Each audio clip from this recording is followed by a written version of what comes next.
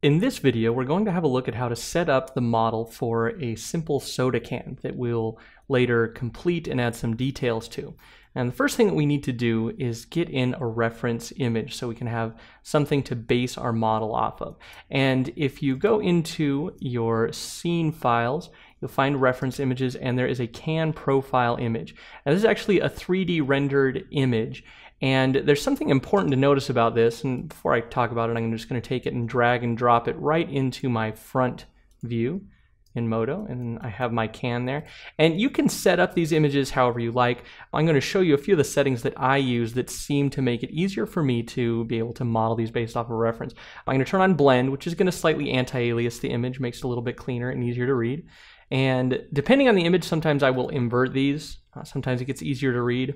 You can pick that based off of your own perspective here, see how you like it. And one thing I'm also going to do is turn up the transparency to oh, about 60%, and that way I can see my wireframes through it a lot easier.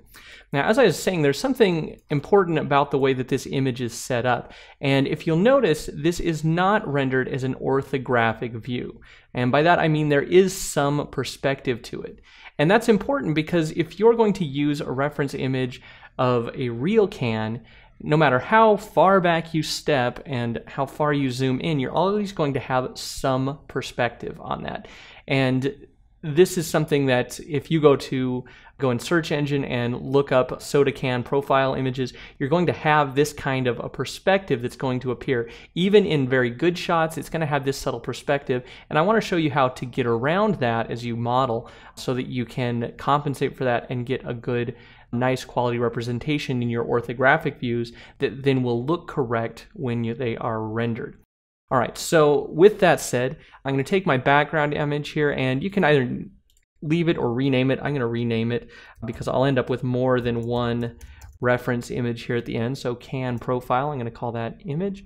And then I'm going to go over to my mesh item and select the cylinder. And in my top view, I'm just going to center up my tool. and I'm going to click and drag out and see I didn't quite get that centered so I'm going to zero out my Z position. And what I'm looking for is aligning this to the width of the can. And I'm going to align it exactly to it. Now, even though I know that eventually when I sub D this, it is going to slightly undershoot what I have with my polygons, I'm still going to model it out there and I can show you how to compensate for that once you've converted to sub Ds. And then I'm going to take my top view here and I'm going to even this out so that I have the same dimensions in both my x and my z. In this case, 1.68 meters. This is actually a very, very large soda can just because the way the background image imported. And personally, I never worry about this kind of a thing until the model is completed, and then I'll go back and properly scale my can to a good size. I think that's just something that is better left worried about once you have the model completed. So there are a number of ways that you can set up this initial geometry. Some people like to give you give themselves the full height. I personally like to go and model with my initial cylinder taking up the space of just the widest part of you know something like a can or a bottle whatever the case may be. And then from there I'm going to bevel off of the top and the bottom in order to continue this shape. You can, if you want, pull this up all the way and down all the way. I find that that leaves you doing more operations, and I would rather do things more quickly since you end up with the same geometry in the end anyway.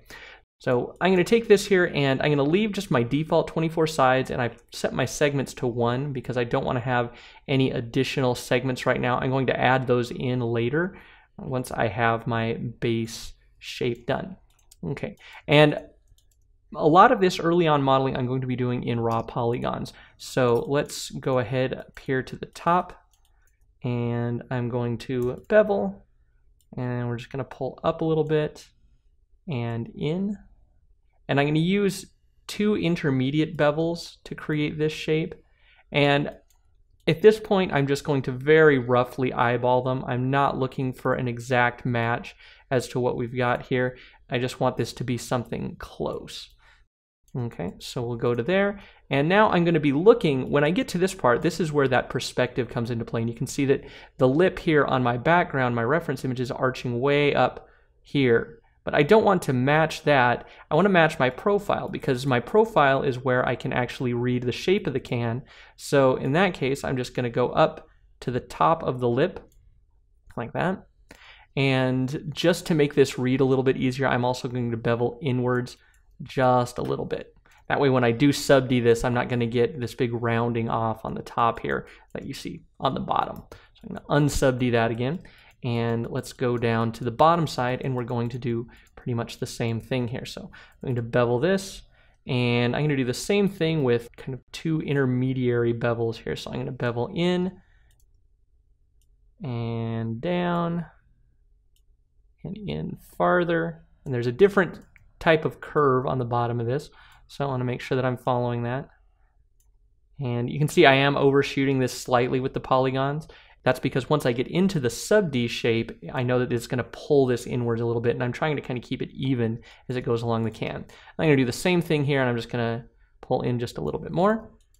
And there we go. So now I can back this out I'm going to press Shift Tab to get into sub Ds. And you can see that I'm getting a lot of rounding right here. So before I finish up this basic shape, I'm going to put in a couple of loop slices. I'll put the count to two. And I'm going to pull these up to something like that. And we'll call that a deal there. Okay, and now I need to make some adjustments now that the sub D is turned on to my general profile here. So I start by pulling this part out. I don't have a lip yet, so I just want to kind of aim for the inside of that. And occasionally it's good to hop in and out of sub Ds because you want to see what you have. Since I have this part straight, when I sub D, you see it looks like it pulls in, but I'm actually going to leave that pulling in a bit for right now because when I go in to add more details to that lip, it's going to flatten that out a bit. So that's looking about right. And let's see, we can just make some general kind of scaling adjustments here. And I'm looking at my front view here on the bottom left, and I'm using my perspective view to adjust because I can zoom in and out as much as I want in the perspective view. That's going to give me more control over the tool, but then at the same time I can see it more closely over here. So let's make that. And as you make these adjustments, remember to use your left and right arrow keys. It will allow you to move between the different edge loops without having to drop and reselect your scale tool or your move tool, whatever you might be using at that time.